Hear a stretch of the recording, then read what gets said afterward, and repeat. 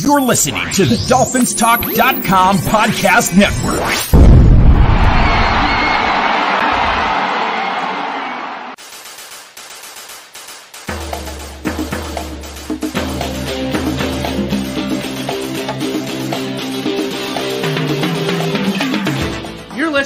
DolphinsTalk.com daily, the most listened to daily Miami Dolphins podcast on the internet.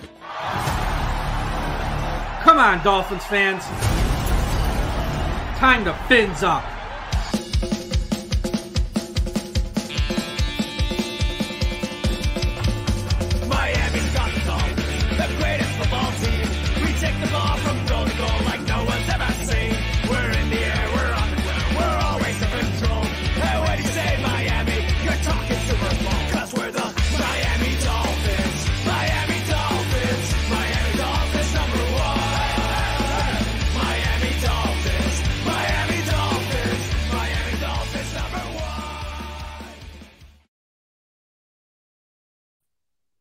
Good afternoon, Miami Dolphins fans. How are you today? And thank you for listening to the DolphinsTalk.com podcast on this Tuesday, September the 20th. And today we are joined by a Miami Dolphins legend, a two time Super Bowl champion, the MVP of Super Bowl eight, a member of the Pro Football Hall of Fame, a member of the College Football Hall of Fame, and now he can call himself an author with his new book, Head On and Memoir, which comes out on Tuesday, October the 4th, with the publisher Matt Holt.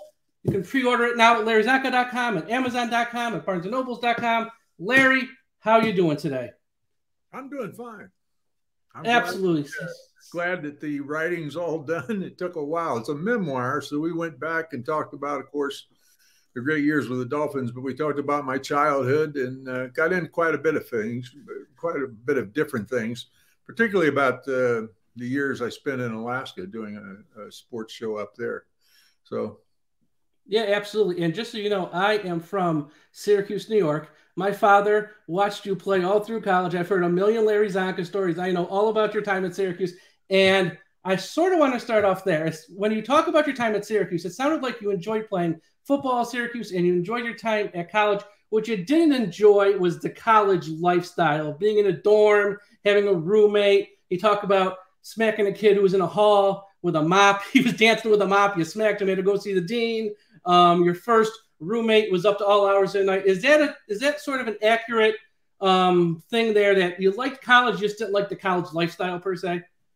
Well, I don't think I was ready for the social side of uh, college. I uh, I grew up, uh, you know, a kid on kind of on my own out the country in Ohio, and it was uh, all the rules and regulations and all the um, all the social activities. What a blend of social activities! Uh, you know, it was, a, it was a great variety of things, and I really had never been exposed to anything like that. And I was lived a very disciplined lifestyle on the farm you know, you had to be at this particular place at such and such time and so and so. You know, animals counted on you feeding them, milking them, doing all the things that you had to do. The chores were not something that could be moved around. So there's a great deal of discipline that goes into that lifestyle. To be in an atmosphere of total non discipline was kind of a shock for me. And I was kind of a square peg in a round hole. And of course, uh, you, when you get into a little bit of trouble, it, it escalates. And I got, uh, I was on uh, triple, triple, triple. Uh, uh, the dean wasn't real impressed with me, uh, to, to, say the least. So he, he didn't like that kind of lifestyle. You know, punch in the eye was not something that he thought was apropos at Syracuse. So um, I started living on uh, borrowed time. And then I went home and married my childhood sweetheart, brought her back, much to the chagrin of the coaches, I might add, back in the in the 60s, and um, lived off campus and worked a job. And that just suited things, suited me fine. You know, I just showed up for classes and to go to practice and do the things I had to do for the education, do the things I had to do for playing football. And didn't take any part in social activities at college uh, at all. And uh, that worked a lot better for me.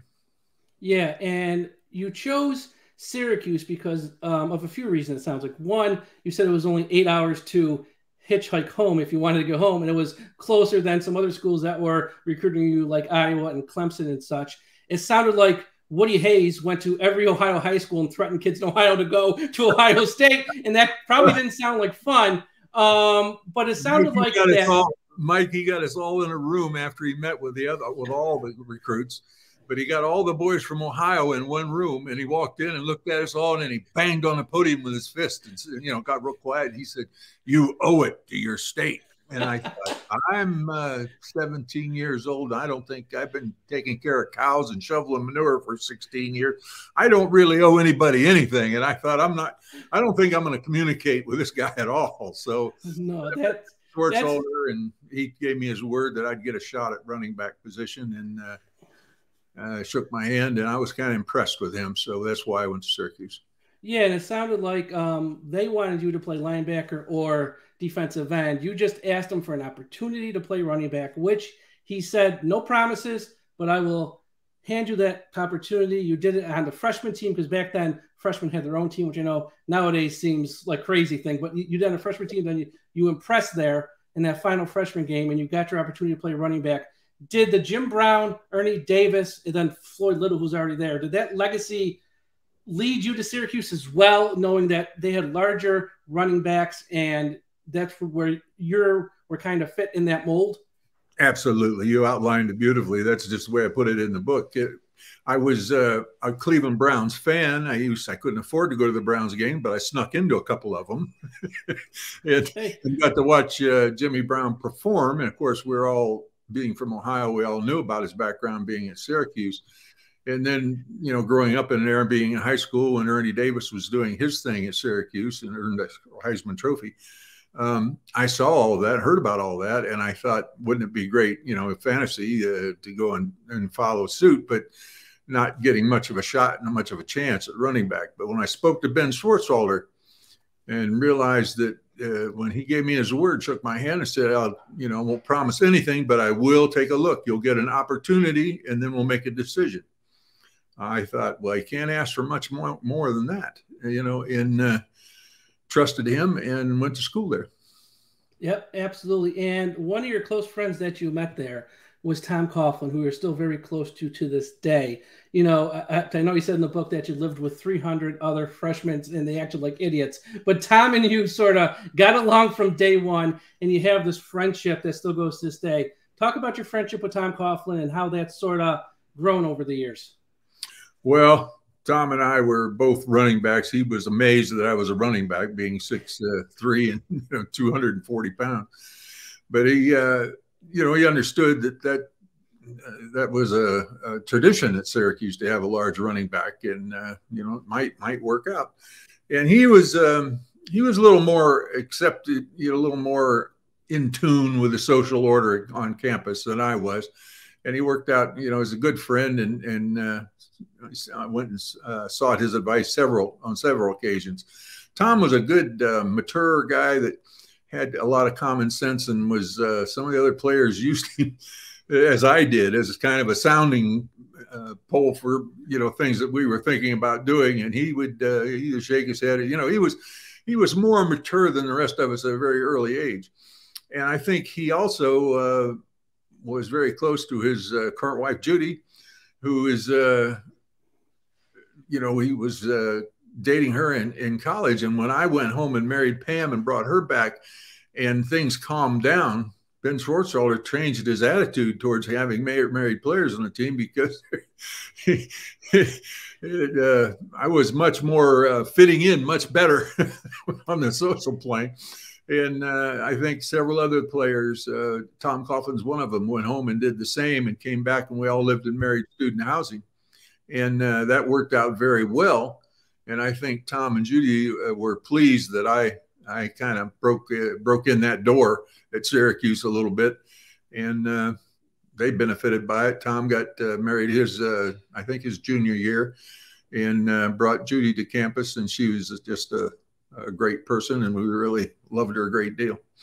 Yep. And you look at that time at Syracuse, Floyd Little, obviously in the Pro Football Hall of Fame, yourself in the Pro Football Hall of Fame. I think Tom will get into the Pro Football Hall of Fame as a head coach, won two Super Bowls. Most head coaches that win two get in. That is some backfield with a lot of accomplishments there. And I think Tom's time has come because I do think he is going to get into the Pro Football Hall of Fame.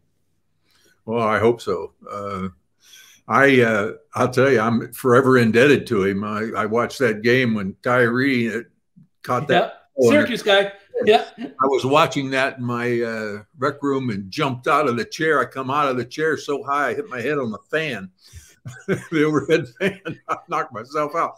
But I was so excited because what a what a finish to it. You know, the 72 team lives forever because it comes alive each each year. Now as teams are reaching 2 and 0, 3 and 0, 4 now they start to narrow down and the uh, the calls start to come in from the other fellas on the team. You know, what do you think of their chance? What do you think their chance? we start talking about we're going to celebrate when they go down. You know, yeah, it's like uh, it never ends. You know, it's no. uh, well, 50 years. This is it. 50 years this year. That, that's an amazing years. accomplishment. Yeah. yeah, and after Syracuse, you get picked by the Miami Dolphins, eighth overall in the draft, and you go down there. George Wilson's there for a couple years, who you lay out in the book. Very uh, player friendly coach. Very you know not uh, not nice. It's just just a very player friendly coach. Then in comes Don Shula, and it sounded like when he first got there, he ruffled a lot of feathers with how he sort of ran the team. But looking at sort of Schwartzwalder and Shula, are they kind of cut from the same cloth in that very hard nosed way of uh, sort of running a team? Because I get the vibe that those two guys would probably be much in line in how they ran a football team. I think their opinion of how you should uh, advance the football is a little different. Uh, still leaning much more towards the pass. You know, Schwartzwalder is from the older era where, you know, in only time you throw a ball, only three things can happen, and two of them are bad, is the way he looked at it.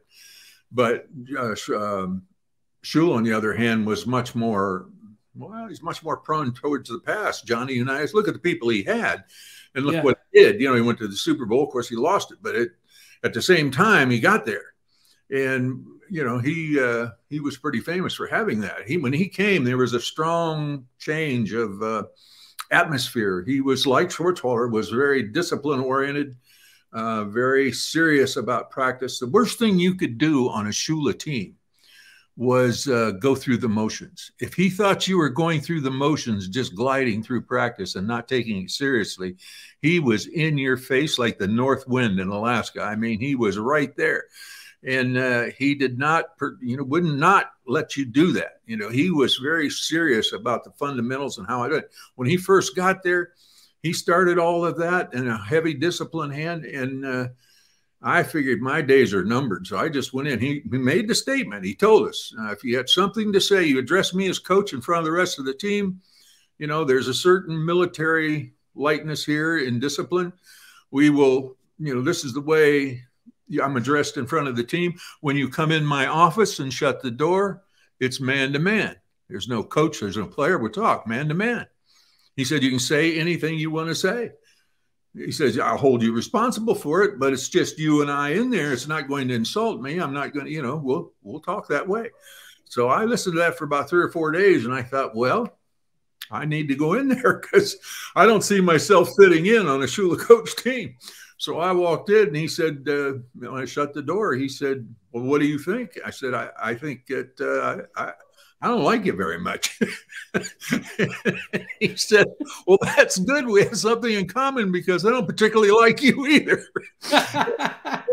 you couldn't ask for any more honest situation than that. And I told common ground. in, and he said, Well, I, I, I wouldn't come to that conclusion. And I told him why. You know, I thought maybe uh, you know, he was more prone to the pass. He said, Well, I probably am, but I've assembled a staff here. He mentioned Monty Clark and some of the coaching staff that he assembled. And he said, Perhaps this coaching staff will be more receptive to that. And I said, Well, you know, I'm, I'm, figured I was going to be traded. He said, I looked into that. He said, I can't get anything for you. So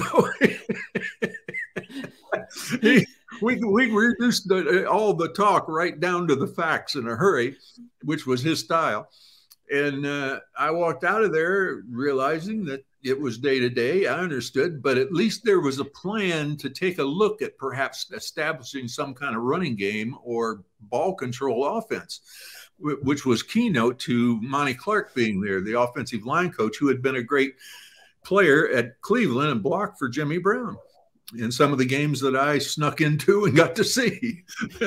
so that, that there was a basis there and there was a recognition of coach player relationship that started to make some sense. Uh, there was no hostility necessarily, but there was truth when you walked in there and you you put your cards on the table. He put his cards on the table, and you advanced that way. And I think the only thing, and I mentioned this the second time because it's a very big point with him, as long as you took your job seriously, as seriously as the coaches took their job, because they were putting in a lot of time. Their midnight hours was not unheard of there. And no detail was too small.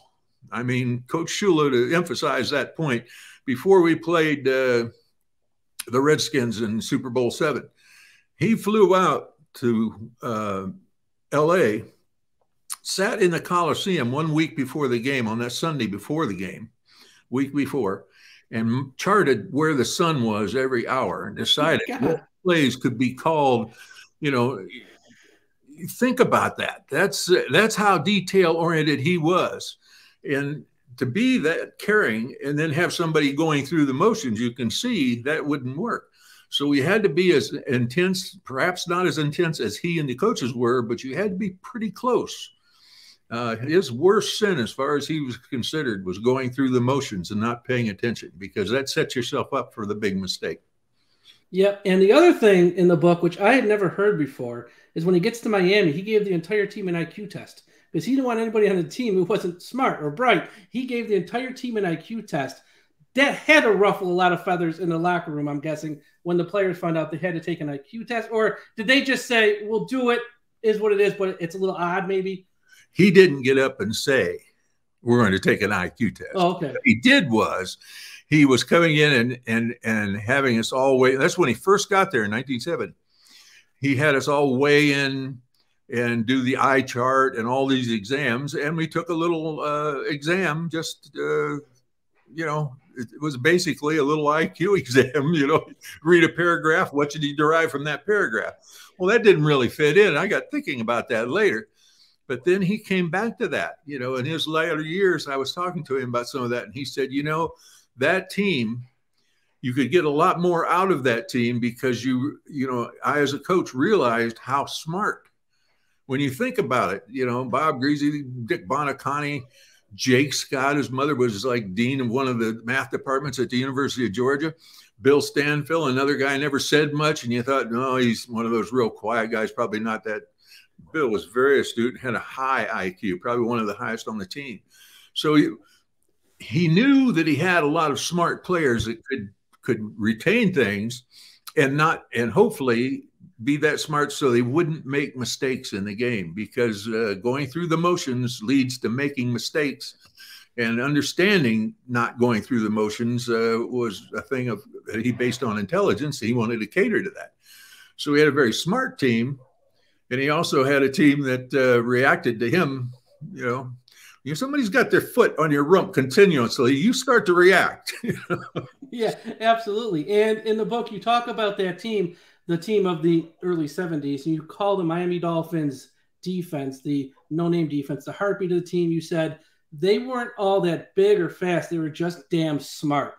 That's right. And I think that's where it came from because that group, you know, everyone obviously talks about yourself, Paul Warfield, and Bob Griese, Mercury Morris, and all those guys, but it was the defense. And a lot of those games you look at from 72 73, it was tough to score on you guys. Like there was games teams scored like nine points or less. I mean, that's right. They, when they gave the ball back, here's a big thing. When when they the defense got us the ball back, they came off the field. They've been on their three plays or six plays. They came off. We get on there on their, our own 10 or 15 or 20 or perhaps own 30 yard line, and we march the ball down and burn eight minutes off the clock. What's the other team's offense doing while we're doing that? They're sitting on the bench, a wooden bench over there. They get cold, they get stiff.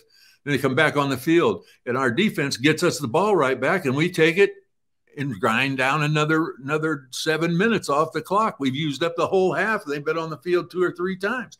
So the better the defense plays, the less they're on the field, the less you're going to remember their names, although there are big plays obviously being made but the less you'll remember their names because the offense is out there grinding. We are on the field for seven or eight minutes. So we got a lot more publicity, a lot more coverage because we were ball control offense and we would just systematically move the ball down and burn that clock. The defense would get out there and in one or two series, they'd, they'd be have, it, have the ball back to us.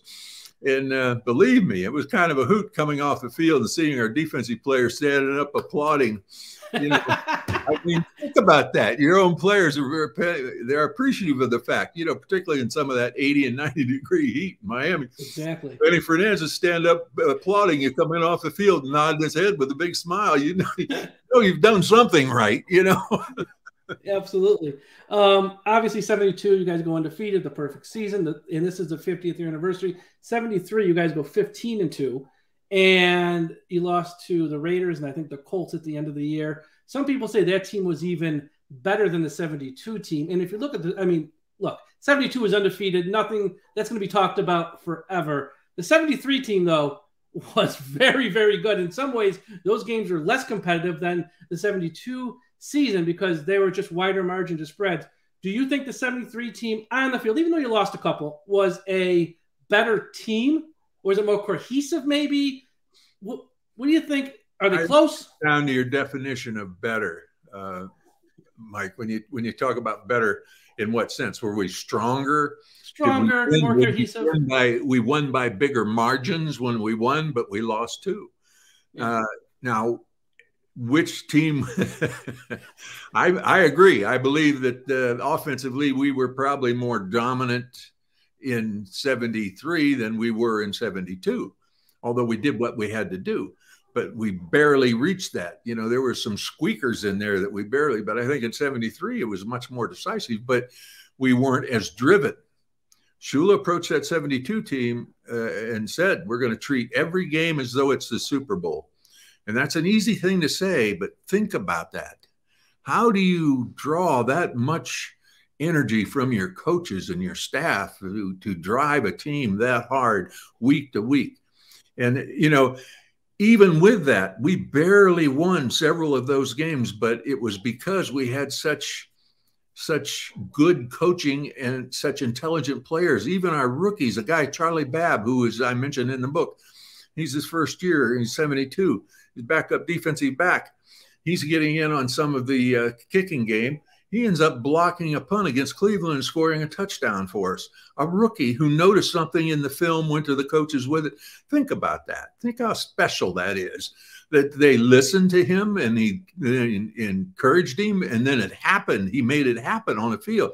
Without that play, that one play of that non starter, the season isn't perfect. So that's how narrow the gap is between perfection and, and almost perfection which a lot of other teams throughout the horse course of the 100 year history of the NFL have been that close. Well, that might as well be the universe.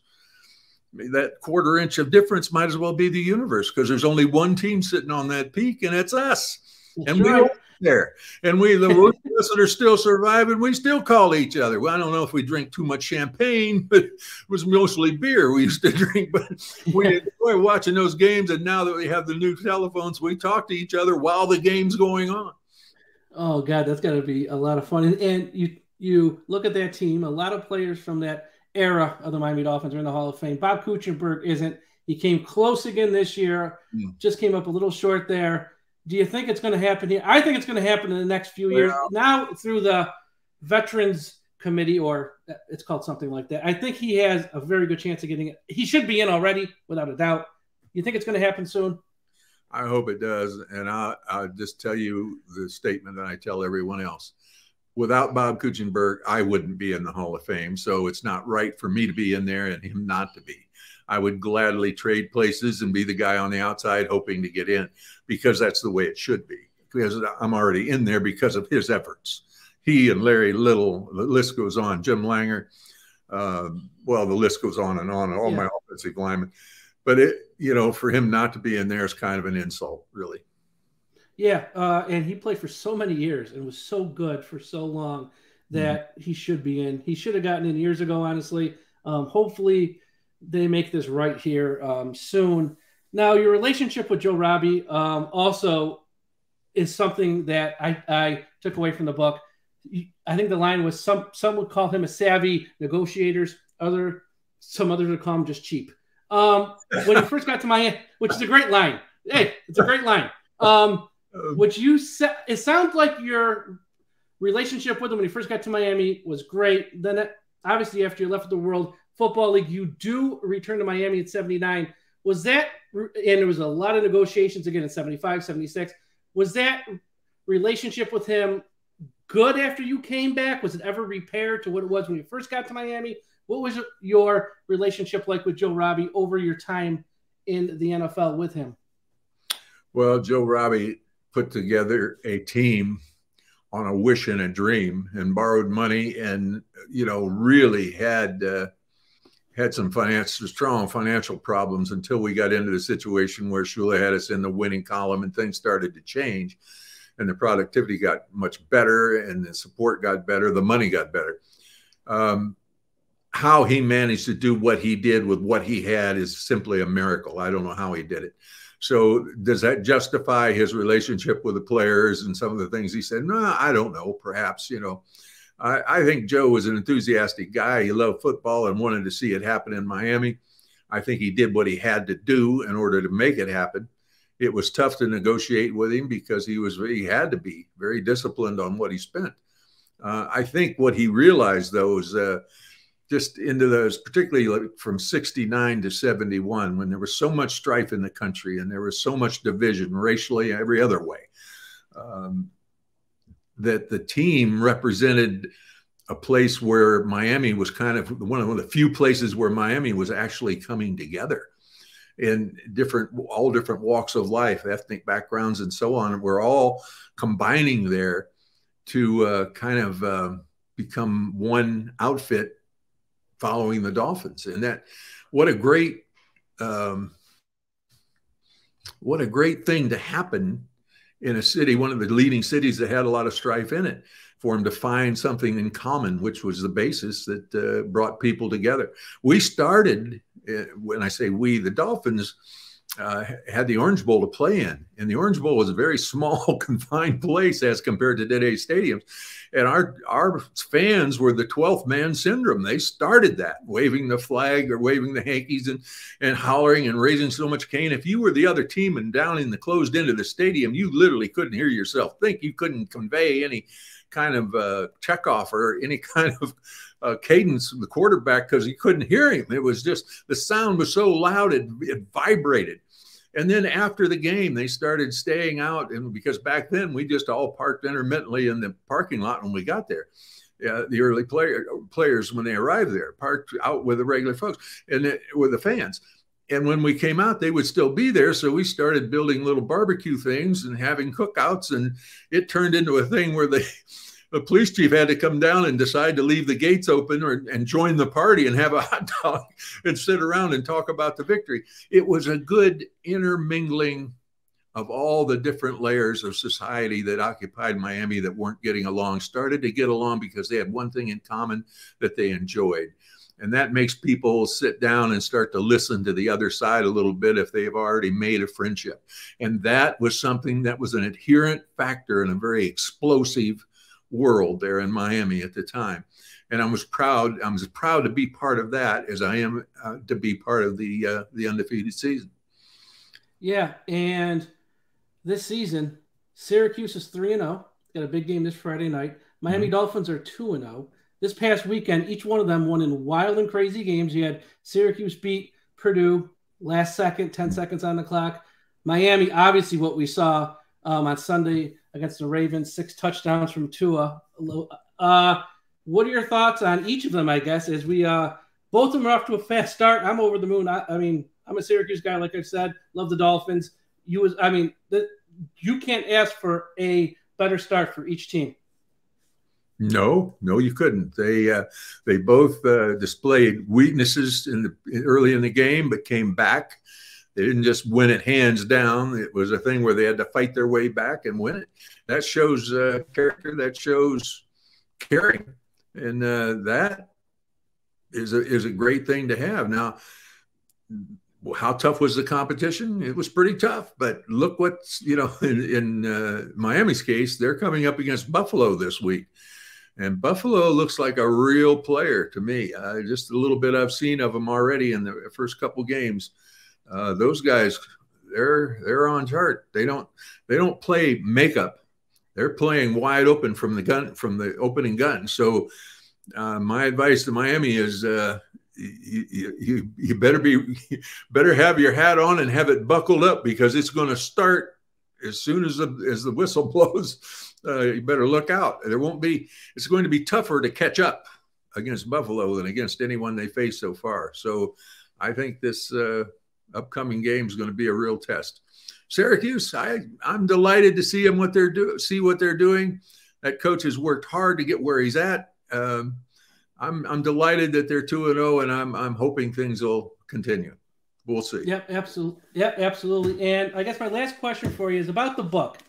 Did you always want to write a book? How did it come about? Was it something you've always wanted? Because there's a ton of great stories in here. I mean, if you're a fan of just football, you're gonna. There's so many great stories about your time in Syracuse, about your time with the Dolphins, about your time after the Dolphins in Alaska, and all that stuff. Did you always want to write a book? I thought about it several times after being part of the perfect team. A lot of the guys did write a book, but I thought, you know, that's just a small part of my life. I still wanted, I was still when I was through with football, or football was through with me, I got fired. Coach Shu fired me finally, and uh, which I deserved it. and uh, then I was ready to go to Alaska, but it, it, took a little while. I got involved in the USFL and went through some of that stuff, and I was doing motivational speaking and all that. And one day I just said, you know, it's enough. I, if I don't go to Alaska right now, it's never going to happen. So I just stopped everything and left for Alaska. And uh, I'm glad that it happened the way it happened because I spent 20 some years up there. Audrey and I uh, found each other just before we went to Alaska, and she was my partner on that and laid out the trips and planned all the itineraries, did the hard part. And I got to enjoy the outdoors like I've never done before. And I've got, I found places in Alaska that I didn't even know existed that were just just splendid for a kid that grew up in the country that has appreciation of nature. That was that was the Disney world of the wilderness for me. You know, I mean, I appreciate the national parks down here in the lower 48, but trust me, folks, if you like those those parks and down here in the lower 48, you need to go to Alaska. You know, go up and look and plan your trip. But there's some places that are so beautiful and so remote and so pristine that um, well it's just it's just a wonderland. That's how i liked it. And those are the things i waited until we had all together. After 20 some years audrey came to me and said larry if you're going to write a memoir you're 76 years old you need to do it. And i said if you'll help me we'll do it. And she of course started to organize it looked into it got the people that that helped put you together put it together plan for when it was going to happen and come about. And I did it. I'm glad, very glad that she suggested it and then helped me go through it, and uh, we got it done. But I think it's a good book in the sense that it gives you an insight to some of the things that went into the undefeated season, and then the things that made Shula and that coaching staff and that you know you talk about that being the greatest team but that was the greatest coaching staff in my opinion that was ever put together monty clark uh, you know, Howard Schnellenberger, Coach Arnsparger, they were absolutely pivotal guys in the organization and the execution of that season. And uh, we were so lucky to have them and was so lucky that all that came together and landed right in Miami, a place that needed it. And, and it, it, uh, it talk about we had 10,000, 12,000, 15,000 people show up at the airport at nine o'clock at night on a Sunday night to welcome us back after a victory. It was like walking through. Was a, they wanted to come do the parking lot over at the at the Orange Bowl. They did it right in the Miami airport. They had to park us at a different place over at a different gate and put us on our own own our whole own extension over there so they could get the, all the people so it didn't interfere with the operation of the rest of the airport. But they did it because it was such a community thing. Talk about something good for the community. Now, all those people weren't just one faction. They were all different. They were all mishmash, all different kinds of backgrounds. That's what America is. That's what Americans about. And the fact that that brings it out, football brings it out, is a double blessing, in my opinion. And I, I, I like to, I like to talk about that because there was never a time in my life that I saw where there was more division between races, between ethnic backgrounds, just between cities, whatever you want to call it. But I saw that all go to the side and all of them in there, arm to arm, all cheering and laughing and talking to each other and sharing things. And if that happens, people start to have a good high regard for each other you know and that that's what it's all about. And that solves a lot of problems in the country right now. And i hope it i hope that's that's continuing. I hope that's going on with the dolphins today. A sense of community. That's what it is. One thing brings everyone together and you can put down your guards whatever people don't agree on the one thing they can agree on is we got to root for the dolphins. We got to root for the dolphins to win and all the other stuff can just put it aside for three or four hours on a sunday and just root for the dolphins and that's what Mike, that's what it should be. Mike, I'm rooting for the Dolphins. I'm we all are rooting for the Dolphins. It's, it's all too long. 72 have that TV set on and that radio on somehow, some way. I'm going to hear that game, and and I'm sitting there moment to moment thinking about, okay, this is probably what they're going to do. It's like I'm playing again each Sunday. You know, obviously at 76 years old, I couldn't sit on the bench without falling off of it. at the same time, I'm spiritually, I'm there. It's the, the ghost of 72 is appearing. It's standing on the sidelines looking on, not just for the Dolphins games, but for all the games. You know, you always want to see, you know, we're, we're defending it. So uh, the, the spirit rises up out of the ground. The Orange Bowl starts to vibrate again. You know, it's, uh, I, I, I miss that. I miss the fans, particularly after the games, and I miss them, uh, you know, sitting around the fire and talking and the kids playing football with us in the parking lot or playing catch with us with the football in the parking lot.